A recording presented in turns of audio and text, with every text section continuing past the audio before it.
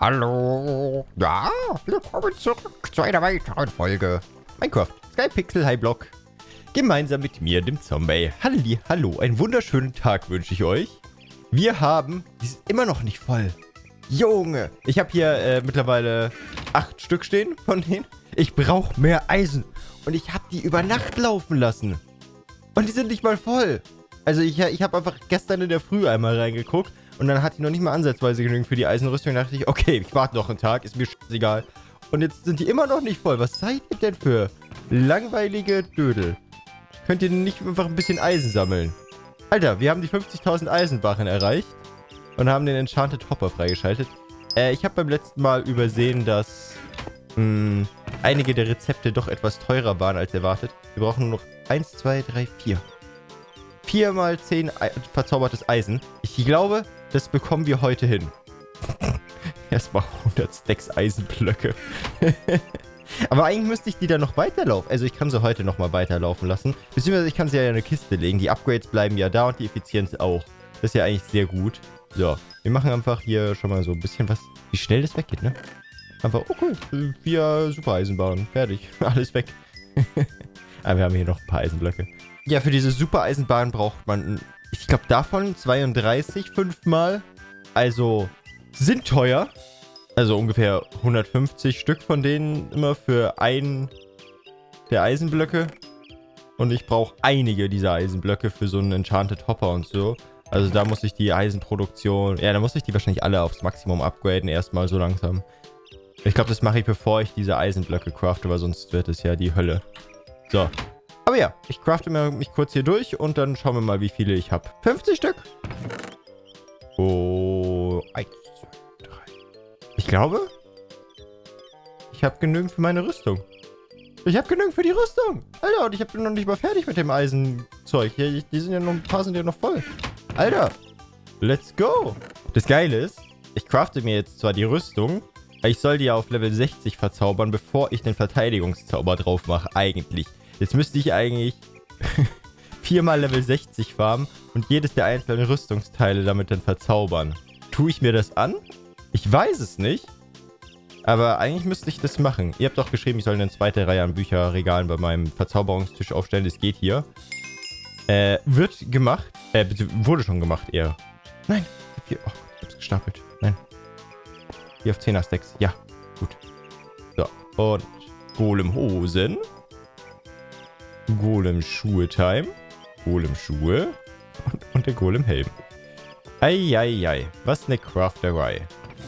Golem-Helm. Oh, weg damit. Golem-Time. Perfekt. Schau, wie cool wir sind.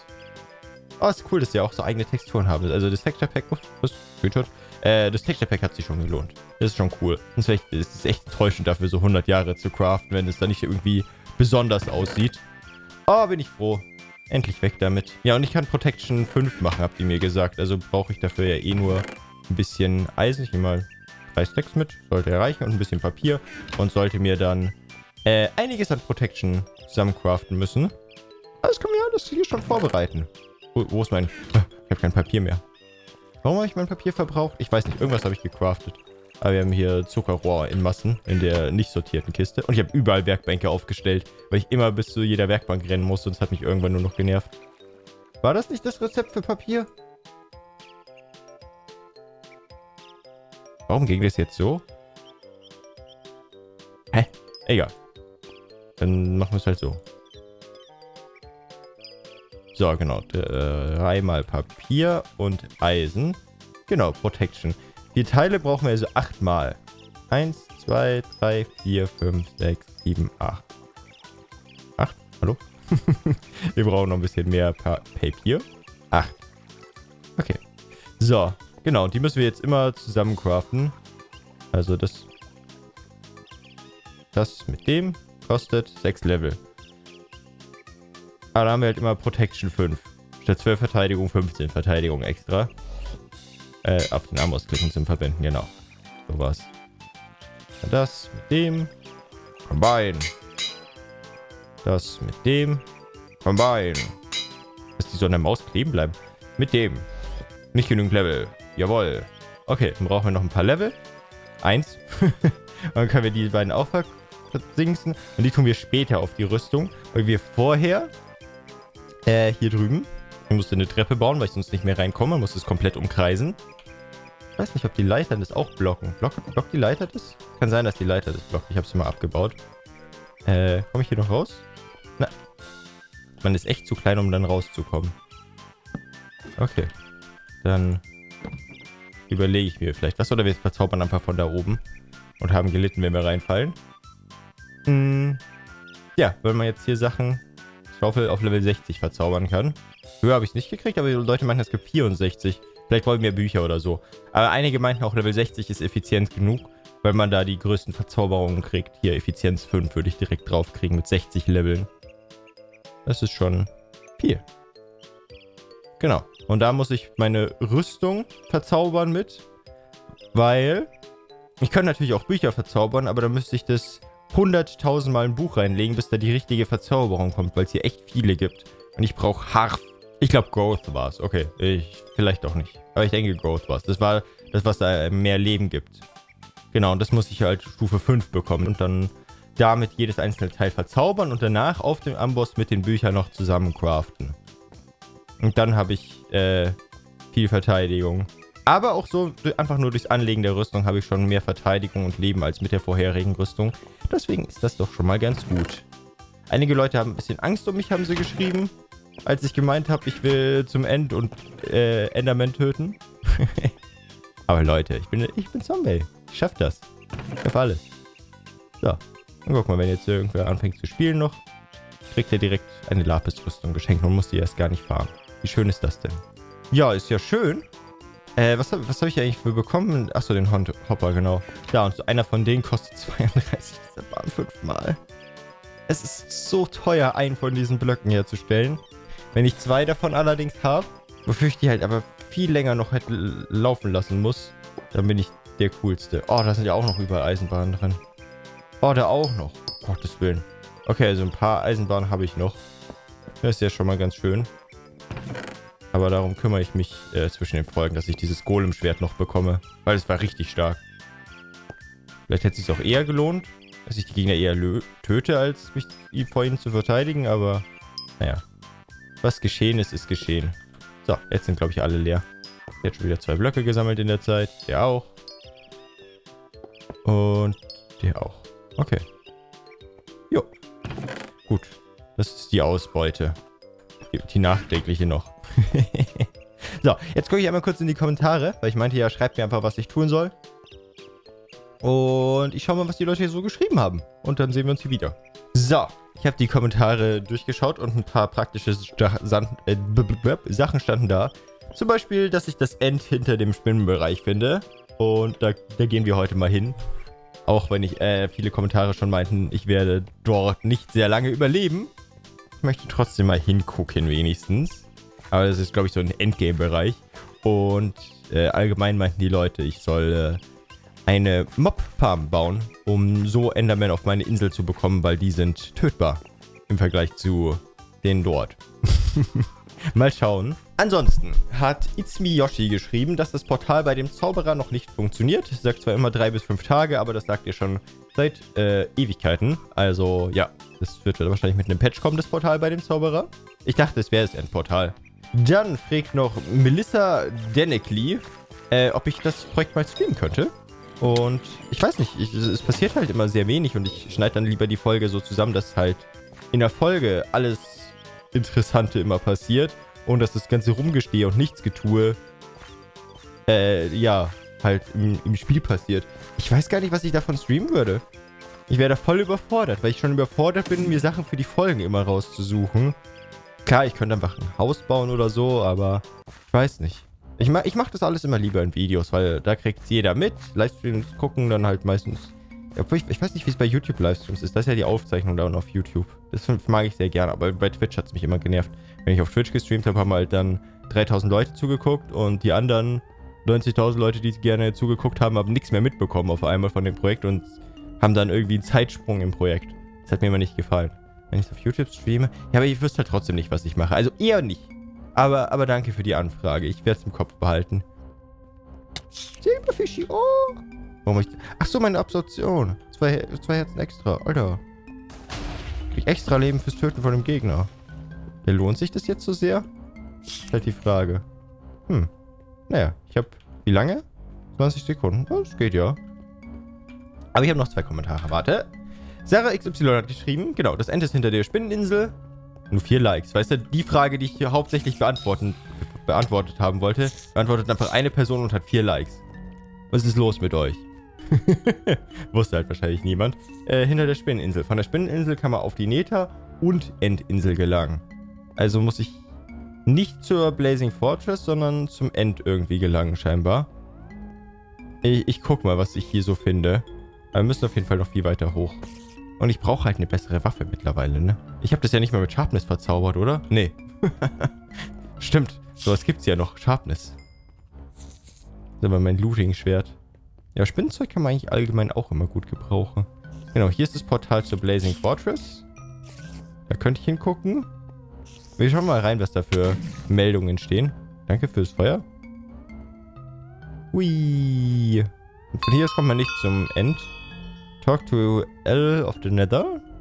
Kämpfe gegen Nether-Mobs. Besiege den Magma-Würfelboss. Sammle Nether-Warzen, Blaze Swords und Magma-Creme. Ah ja. Interessant. Ich weiß nicht, ob hier ein Portal zum End ist. Wäre merkwürdig, wenn es hier wäre. Aber ich würde es akzeptieren. Wir haben auf jeden Fall genug Level, um die zwei Bücher noch zusammen zu craften. Verrückt. Ja, was ich so mitbekommen habe, dass die Leute die Magma-Würfel im Blazing Fortress farmen für Level. Ich weiß nicht, ob es eine effizientere Methode für Level gibt. Wahrscheinlich eine eigene Mob-Farm, oder? Ich weiß nicht. Alter, die Spinnenweben äh, geschossen. Äh, ich geh mal weiter hoch. Juckt mich nicht, was ihr macht. Oh, oh. Äh, äh, die Superspinne ist runtergefallen. Unten sich End. Zeug bisschen. Oh. Das war nicht klug. Ich habe das End gefunden. Warum springe ich hier einfach runter, wenn ich Endstein sehe? Aua. Weg. Toll. So. Deine Schuld, Spinne. Aua. Hört auf mich zu hauen, ihr ganzen bösen Mobs. Aber ich heile mich scheinbar damit wieder voll. Dadurch, dass ich die Absorption neu auffülle. Ist cool. Ja, wir schauen einfach mal weiter hoch. Ich meine, es stand ja da, man soll die Spitze erreichen. Vielleicht ist was auf der Spitze. Außer Enttäuschung. Wir finden es heraus. So. Da drüben geht es weiter hoch. Alter. Macht sie einen Dash-Angriff in mein Gesicht. Hier geht's nicht weiter hoch. Hier bin ich beim letzten Mal runtergefallen. Und ich bin zweimal in dieselbe Falle gelaufen. Äh. Okay. Äh, wir gehen hier außen weiter. Ja. Das sieht gut aus. Dann hier raus und dann hier am Rand entlang. Nein. Verdammt. Ist auch noch runter. Wie kommt man hier nach oben? Ist das schon die Spitze? Ne, da oben sind nur noch Gegner. Oh, oh. Alter. Puh. Da hat mich eine Spinne überrascht. Hallo, T. James. Ich wollte dir nicht deine Spinnen klauen, ich bin nur irgendwie da zufällig hingefallen. oh, eine fragt im Chat. Wie komme ich zum End? Vielleicht antwortet einer. Weiß ich, ob der Kommentar richtig war. Alter, ich töte hier Spinnen ohne Ende und es hört nicht auf. Ah, ah, hallo. Hello. I don't know, sorry. Ja. Ich wüsste auch gerne, wie man zum End kommt. Chung Yul. Äh, irgendwie... Ah, ihr YouTuber? Nee. No? wie kommt der darauf? Fragezeichen. Your rank. Ich tue einfach mal doof. What rank?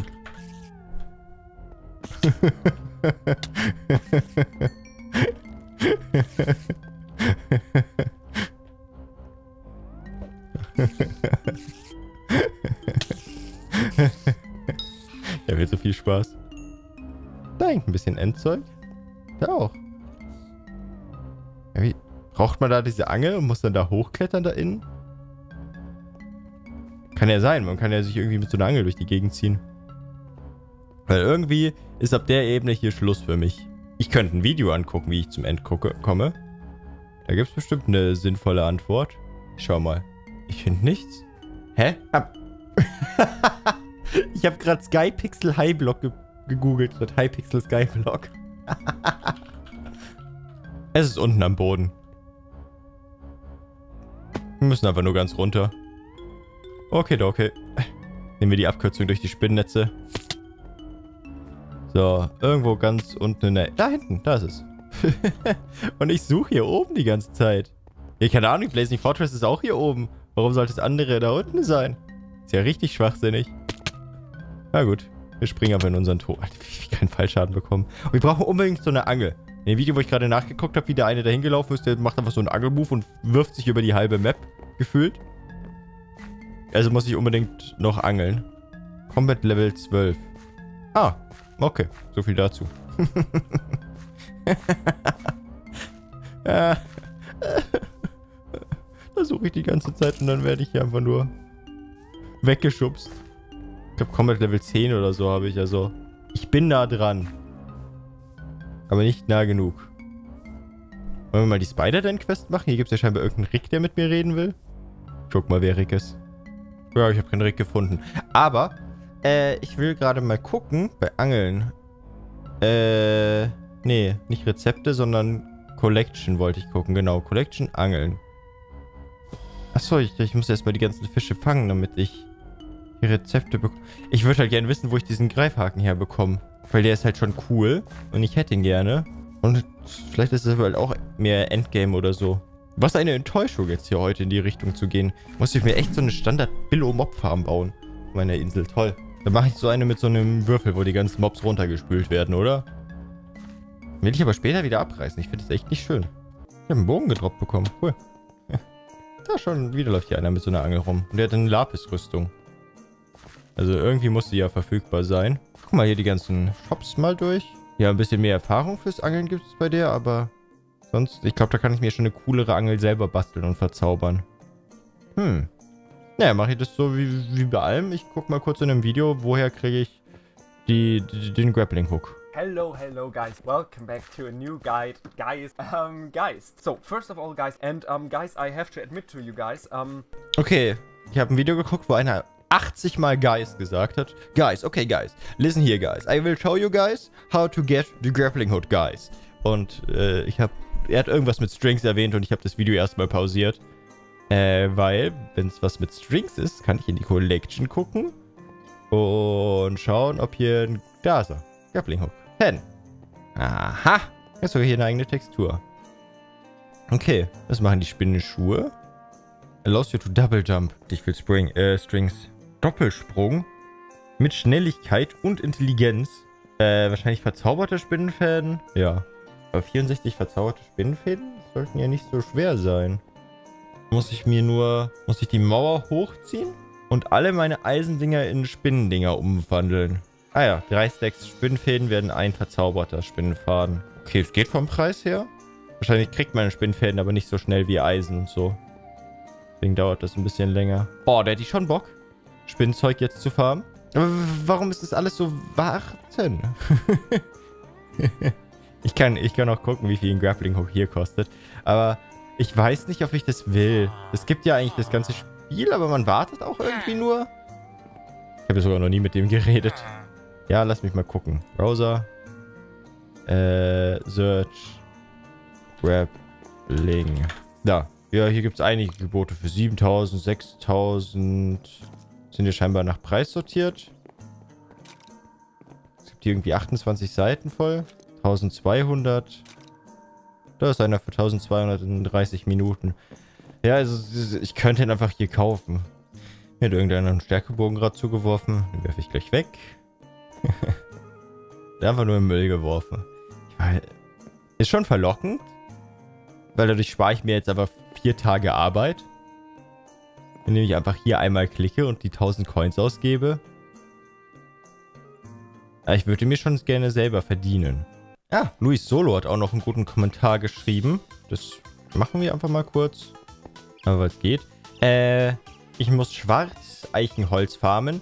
Und damit kriege ich das äh, Growth-Rezept zum Verzaubern. dann muss ich keine 10 Millionen Level farmen.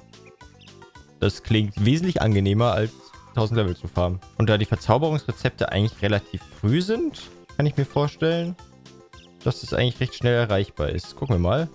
Schwarzeichenholz. Ja, verzaubertes Buch Growth. Kann ich das Rezept sehen? Acht verzauberte Eiche. Ah, das ist doch ein bisschen teurer. Und es gibt schon 60 Leben mehr dazu, Stufe 4 nur.